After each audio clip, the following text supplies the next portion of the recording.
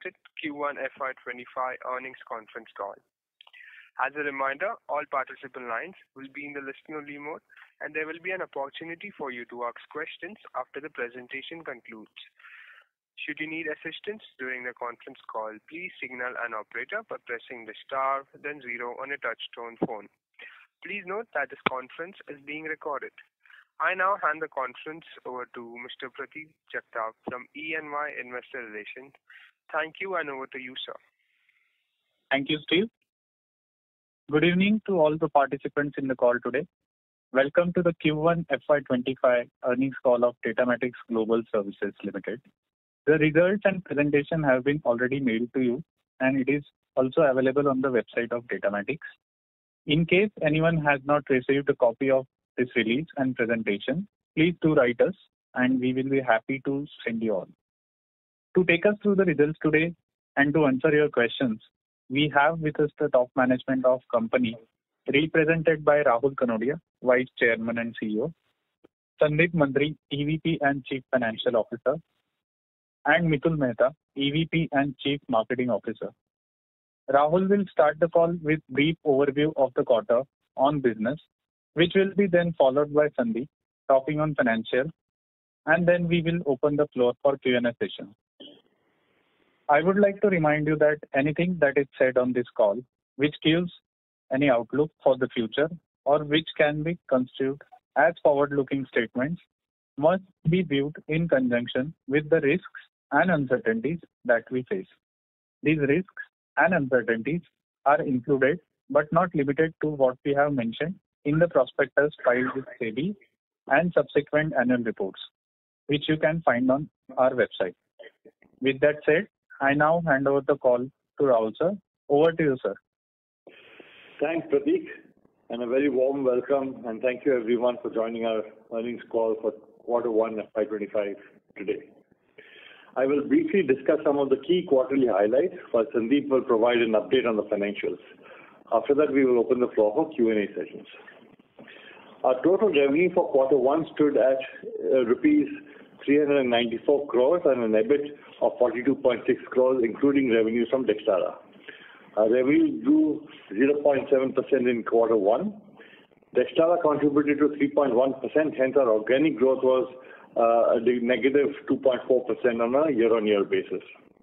The degrowth was mainly due to the slowness in the U.S. and European market and a flat growth in our existing business. Consequently, our EBIT margins reduced to 10.8%, which included increments that we gave out for the year 2024-2025, rolled out in quarter one, and our ongoing investments in building AI solutions.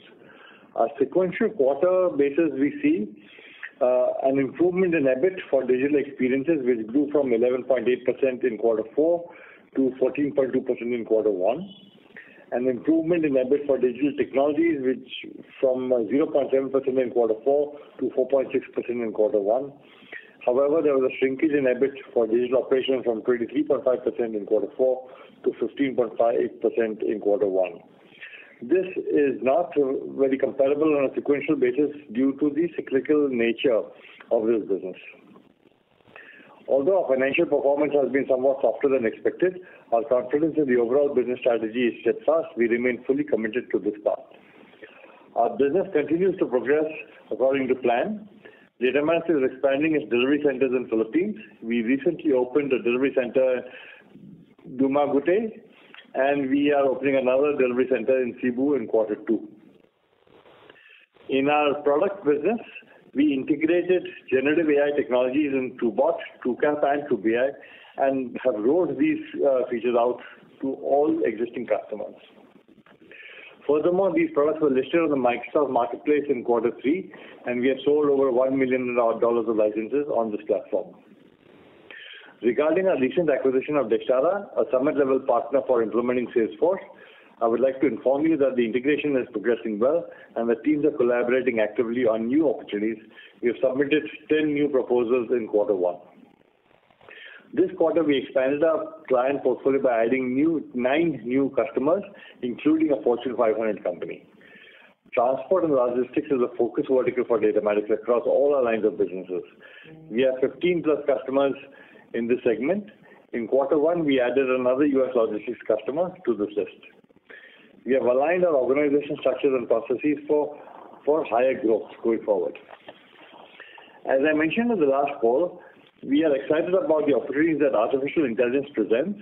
Recently, we became one of the first digital technology companies worldwide to receive an ISO 42001:2023 certification for AI management systems. This achievement will help our customers manage the risks and opportunities associated with AI, balancing innovation with governance. We have recently received a patent for AI in TruCap. This further solidifies its position as a leading intelligent document processing solution. Microsoft, along with OpenAI, is leading the charter in the AI in the enterprise today. Along with Microsoft, we are co-creating and reimagining applications using the power of AI. One notable development is a partner onboarding copilot developed by Datamatics, which is amongst the top three copilots featured at Microsoft Build Annual Developer Conference in Seattle, Washington. Additionally, Microsoft recognized Datamatics as an AI-first mover in the recent publication, highlighting the recognition of our AI solutions are receiving from the industry. I'm excited to announce a groundbreaking AI initiative that our team has successfully secured a leading American supermarket chain. This project entails the implementation of advanced AI-driven video monitoring and analytics technology across 250 locations, aimed at enhancing customers' experience while simultaneously migrating instances of fraud, mitigating instances of fraud. To date, Datamatics has delivered over 40 AI projects across various verticals. Looking ahead, we are positive about regaining our momentum with anticipated improvements in both revenue and growth, revenue growth and profit margins. Regarding our EBIT margins, through diligent cost management and operational efficiencies, we project an EBIT improvement of 150 to 200 basis points in quarter two. Before handing handing over the call to our CFO, Sandeep Mantri, I would like to express my heartfelt gratitude to Sandeep Mantri on his last earnings call with us. His dedication, leadership, and financial acumen have been instrumental in guiding our company in achieving significant milestones. Sandeep, your contributions have laid a solid foundation for our future success, and we are deeply grateful for your commitment and hard work. On behalf of the entire Datamatics team, I wish you all the best in your future endeavors and look forward to your continued success. Thank you for everything. Sandeep, over to you. Thank you, Rahul, for the kind words. Welcome, everyone, and thank you for joining us in quarter one FY 2025 earnings call. Let me start with the financial performance for the Q1 of FY 2025. Our revenue for this quarter stood at uh, 394 crores, which is a drop of uh, 4.5% on a sequential basis and a marginal uh, up of 0.7% on a YOY basis. Our EBITDA for this quarter was at 13% compared to 17.3% in Q1 of last year, so there is a significant drop in EBITDA. Our EBIT for this quarter was at 10.8% compared to 15% in Q1 of last year. As explained by Rahul, the reason for drop in operational profit is primarily due to uh, slow revenue growth, increment for 2024-2025 affected in Q1, and our continued investment in uh, AI projects. Our tax rate for the quarter is 17.2% compared to 18.7% in Q1 of last year. Our EPS for the quarter was rupees 7.37 per share, uh, compared to 8.9 uh, in Q4 and 9.35 in last year Q1. When we see segment-wise revenue performance, our digital operation revenue was at rupees 164.8 crore, which is a drop of 1.3% on YOY basis. Digital operation EBIT margin was at 15.5%. Total contribution uh, in revenue was 42%. Our digital experience revenue was at 67.9 crore, which is a growth of 2.4% on YOY basis. Its EBIT margin was at 14.2%, and its contribution to total revenue was 17%. Our digital technologies revenue was at 161.3 crore, which is a growth of 2.2% on YOY basis.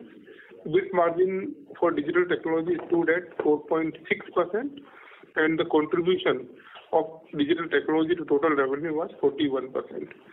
We continue to maintain a healthy balance sheet. As on June 30, 2024, our total cash and investment stood at rupees 589 crore, and our DSO for uh, as at the end of this quarter was at 61 days. In terms of geographical footprint, U.S. remains our largest geography, with 54% of our business coming from U.S., followed by U.K. and Europe at 13%, and the rest of world, including India, is at 33%. In terms of industry footprint, technology and consulting remains the largest segment for us, which constitute 27% of our revenue, followed by BFSI, which stood at 25%, then education and publishing, and manufacturing, infra and logistics, each at 12%, then non-profit or non-government organization at 10%, retail at 9% of our business. Other rest miscellaneous is 5% of our total revenue. Our client concentration remains very healthy, with top 5, 10, and 20 clients contributing to 23%, 37%, and 50% respectively. As this is my last earnings call with Datamatics, I want to take a moment to express my gratitude. It has been an honor to serve you as your CFO and to work alongside such a talented and dedicated team. I want to thank our employees for their unwavering commitment, our investors for their trust and support, and the entire leadership team for their collaboration and guidance. Together, we have achieved many significant milestones. I am confident that Datamatic is well positioned for continued success, and I look forward to seeing the company's future accomplishments. Special thanks to Rahul uh, for always believing me, believing in me and trusting me, and thank you all for the incredible journey. With this, I will now pass on the call to operator to open the floor for questions. Thank you. Thank you very much. We will now begin the question and answer session. Anyone who wishes to ask a question may press star and one on their touchtone telephone. If you wish to remove yourself from the question queue, you may press star and two. Participants are requested to use handset while asking a question. Ladies and gentlemen, we will wait for a moment while the question queue assembles.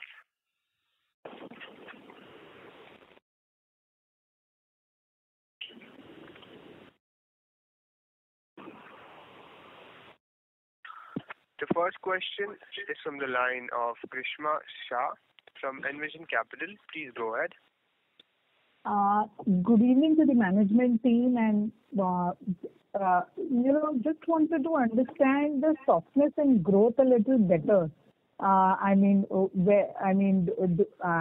evident, we could see some pain in the top five and the top 10 accounts. So if you could tell us how is the trajectory going to be for the rest of the year with Uh, the key accounts, and where is the growth going to come uh, from your own for, and what's the guidance for the entire year?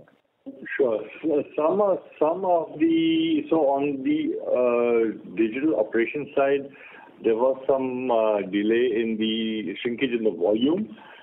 We expect some of that volume to come back in Q2 and Q3 of this year. Uh, on the on the technology side, certain projects got a little pushed out, and again, we expect that to happen in Q3. So overall, from a growth point of view, in the last earnings call, we talked about a 4% organic growth and another uh, 3.5%-4% from uh, inorganic. And we, at this point, maintain that that projection. So I think we should be in that range once we claw back some of the volumes and some of the deferred projects kick in. Hello? Uh, okay. Yeah. Um, yeah, so I get that, uh, and, uh, oh, Outside of that, we did- You know, how has Dextara grown for this quarter, year-on-year basis, and what's the outlook for, you know, Dextara? Dextara is flat. Dextara this quarter has not grown, Uh, but that does not concern me because our strategy behind Dextara was, uh, and we had a call for Dextara specifically when we acquired them. So they, uh, as a company, because they were much smaller, were bidding for smaller deals, ranging between $50K-$100K. and the deals that Datamatics was getting was ranging between half a million to up to $3 million per deal. So our strategy behind that was with their competence and expertise, uh, we will convert a few of the larger deals that we are getting, and that will give the upside in terms of growth. Now, in quarter one, it's very difficult to close a deal so fast. I mean, that's too short a period. Uh, so they they have been working very closely with our team, and as I mentioned, we've submitted 10 proposals in, in Q1 of this year. So I'm, mm-hmm. Still very uh, positive about their ability to close a few, one or two large deals, and that will get the growth going for Dextara. You paused the small deal growth that Dextara was, uh, uh, you know, traditionally no, doing? We've not paused it. We've not paused it, but uh, yeah, quarter one is is a little soft. Uh, so they have been working on several deals. So, so we've not paused the small deals, but the the upswing will come when you sign one or two large deals, and and we have that pipeline from Datamatics. Okay. And have we disclosed the total uh, pipeline this quarter? What does it stand at? Uh, no, our pipeline uh, last quarter was about 200 million. We've seen the softness, so that's come down to about 170-ish. Okay. And uh, how much of these increments that we've rolled out in quarter one will continue in quarter two and ongoing investments? You know, can you give me some margin outlook for the entire year? Yeah. The the increments that we gave on an average was roughly about 9%-9.5%. Uh, and Obviously, when you give that increment, it stays through the whole year. Uh, it goes up and down a little bit depending on churn. Some people leave, some new people come, but roughly 9.5% will stay through the whole year. Uh, but All all services companies, IT companies, go through those motions when then they tighten the belt, they churn some stuff, and then it sort of comes back to normal. Sure. Sure. Yeah. And overall, I mean, if Q2 is going to see the margin recovery, do you see, uh, you know, that trend of recovery continuing to the subsequent quarters, uh, or what's the sense? Yeah, the subsequent quarter should see the trend continuing. The reason is that, uh, as I mentioned, some of the volume that came down in digital operations will kick in in quarter two and quarter three. Uh, and also some of the projects in the IT which got pushed out to quarter three. So they will kick in. And the moment you get the revenues coming in, the margins by default improve because the cost structure does not move. Q4 for us always tends to spike a little bit. So Q4 will always be healthier than the uh, other three quarters. So quarter two, three, and four should be better than quarter one. Okay. And uh, there is an exceptional item of 3 crores in the P&L. That is correct. So that is the amount we paid uh, toward uh, acquisition of Dextara to the advisor who helped us in getting this deal. Okay, so that is the exception and not sitting in the operational cost. Ah, that is not operational. Yeah, there is a one-time uh, cost. Yeah. Okay. Okay. Fine. Um, uh, thank you and uh, good luck. Thank you. Thank you. Thank you. The next question is from the line of Nikhil from Kizuna Capital. Please go ahead. Yes, sir. Thank you for giving me the opportunity. So I just wanted to ask you, the organic degrowth that we had, can you quantify them uh, in terms of what was due to uh, softness in demand, incremental increments, and investment in AI? Uh, we don't have that breakup now. So you're saying what is the the impact of increments, the impact of AI, and the impact of uh, the software. The breakup of that. Is that correct? Yes. Yeah, I don't have that handy yet. Increment will be having about, you know, 9%-9.5%, which which means about 4%-4.5%. Uh, Almost increment is one of the major reasons, and coupled with the sluggish revenue growth, both have actually brought down the EBITDA or EBIT. Then the revenue growth would have been on the ah, high. Then we would have. Then we would have not. We the bottom line would have been much. Even if with six seven percent revenue growth, we would have uh, better in terms of EBIT EBITDA. Okay, sir. And sir, any earn-outs triggered during this uh, Dexter acquisition? Like there was a performance-based uh, payout that was going to be uh, triggered. So was there That any kind of will that? happen, uh, that will happen at the end of the year. First payment will be at the end of the year, and second payment will be after, in 31st March 26. So this is a two-year deal post acquisition. Okay, sir. And in terms of pipeline of $170 million, so sir, can you bifurcate them, uh, bifurcate them into the verticals, like how much in the AFC, how much in the product side, and uh, in the which vertical, like BFSI, manufacturing? Uh, yeah, I don't have that breakup right now, but We we don't give uh, segment-wise bifurcation of pipeline. In fact, we started giving pipeline last to last quarter only. So Right now, we are not giving segment-wise what is the pipeline, because many of the, uh, you know, many of the places, what is happening, some are combined deals. So it is very difficult to figure out, you know, which segment it, uh, hybrid deals, basically. We are looking more and, uh, seeing more and more hybrid deals. Okay, sir. That's it from my side. Thank you, sir. Thank you. Before we take the next question, we would like to remind participants that you may press star and one to ask a question. The next question is from the line of Ankur, an individual investor. Please go ahead. Hi, good evening, Rahul and Sandeep. Uh, As an individual investor, when I see the presentation, mm, I see that predominantly it seems here that the personal costs have increased in the first quarter being a reason. So, uh, do I understand that this phenomena will happen every year and the quarter one will show the impact every year like this? And second thing is, what is, Your very, your voice is very unclear. uh, is it more clear now? Uh, Not really. It's a little louder, but not necessarily clearer. But maybe you can just continue and and if we can understand, we'll Okay. certainly this. Okay. Okay. Uh, So my question is that uh, the personal cost phenomena is not a new phenomena. It will be there in every quarter. Correct. Every year it would be there. So if, if we are targeting the revenue growth, what are the new verticals and markets we are scouting for? And the second question which I just want to understand is the AI and technology is quite a uh, thing which is dependent upon R&D and there has been huge inflow in different R&D organizations across the world. So how we are keeping pace to be ahead of all these technological advancements? So these are the three questions I want to ask.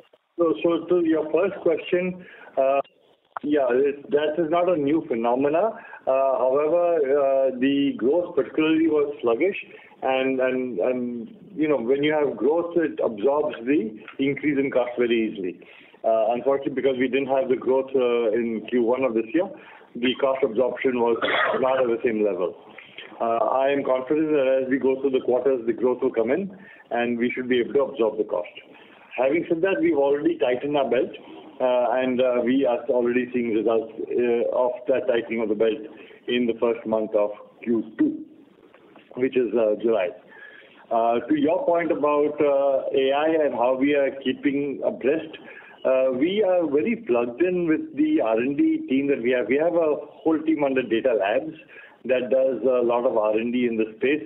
We are working very closely with Microsoft and with Google, uh, and we are actually building cutting-edge technology, basis which uh, Microsoft has covered us in their coffee table book as an early as an early adopter of AI.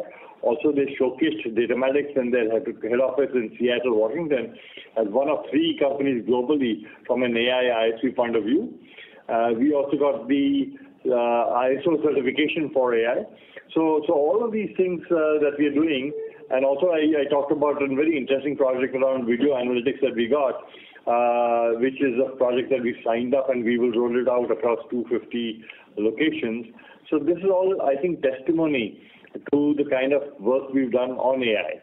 Uh, and the R&D team, I must say, has done some very cutting-edge stuff. So we will start seeing the benefits of all of this that we've done in the coming quarters. Thank you. Thank you. Thank you, Rahul, for this. And I extend my warm wishes to Sandeep also for his new endeavor. We have seen the company from like, I've been tracking it from last one, one and a half year, and yeah, it's been phenomena to see good leaders in the industry. Thank you. Thank you both. Thank you. Thank you.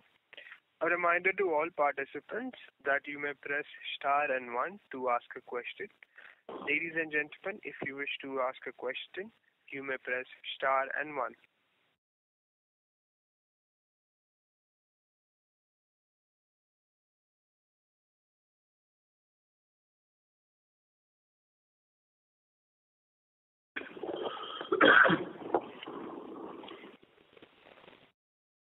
The next question is from the line of Nikhil from Kizuna Capital. Please go ahead.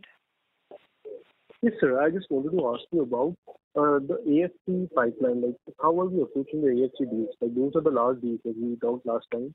Those, Yeah. uh, So, yeah, on AFC, uh, we have just kicked off line 2B. Uh, Line 2B was delayed uh, for a variety of reasons with COVID and all of that type of stuff, but that we just kicked it off. We have currently a bid for uh, Pune Metro, and uh, we are awaiting the results of Pune Pune Metro. I am confident that in, within the next one month we will get the results for sure. So in Q2 we'll, get some some visibility to where we are on Pune Metro. Uh, we are looking at uh, some other lines that are coming in in Mumbai, uh, line 9, line 4, 5 and 6. So as we go through the motions, we will give an update on that as well. Plus, in addition to that, we are pivoting a little bit more into the U.S. Uh, So our sales team has now started focusing uh, very actively on the U.S. market in this space. okay, sir. Thank you, sir. Thank you.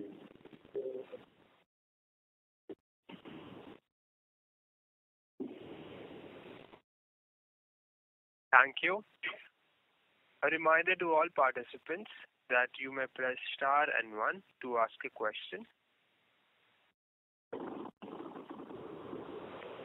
The next question is from the line of Pallavi Deshpande from Sameeksha Capital. Please go ahead. Uh, So this uh, mentioned about Mumbai line 9, 4, 5, and 6. uh, When does uh, that come up?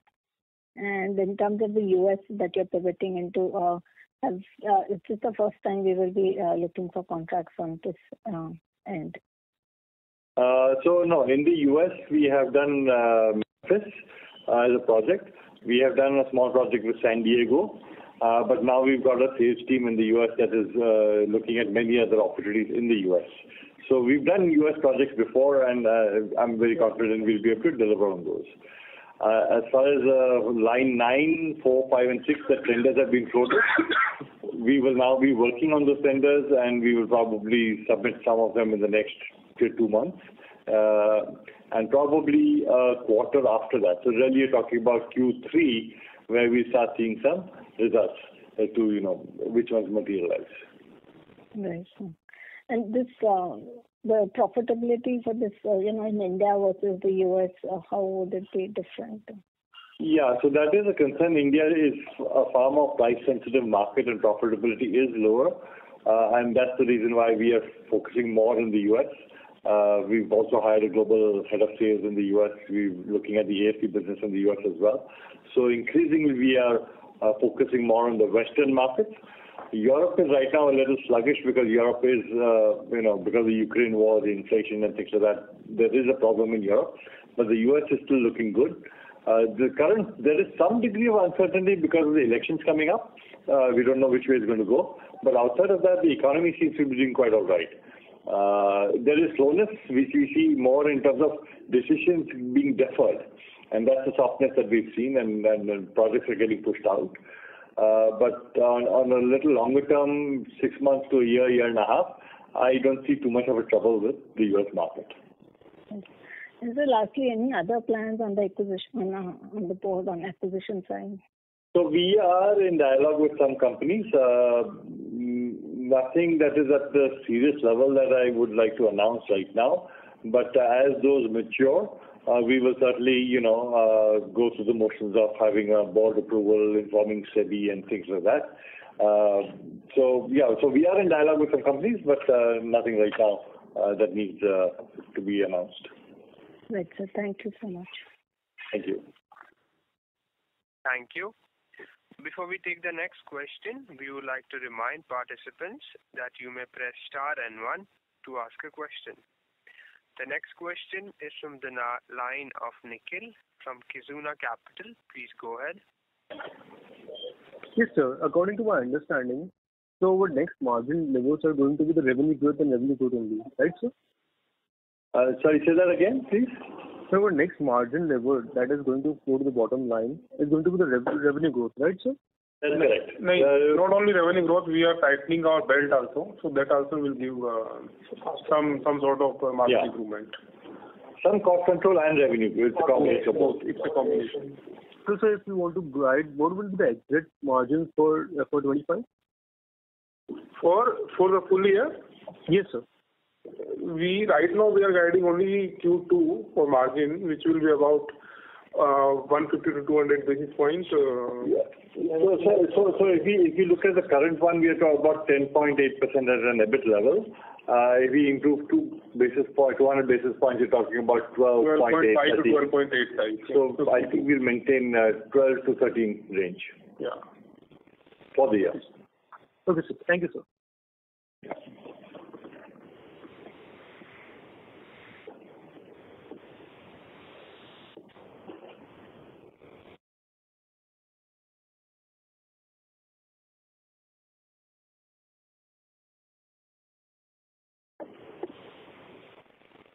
Thank you. As there are no further questions from the participants, I would now like to hand the conference over to the management for their closing comments.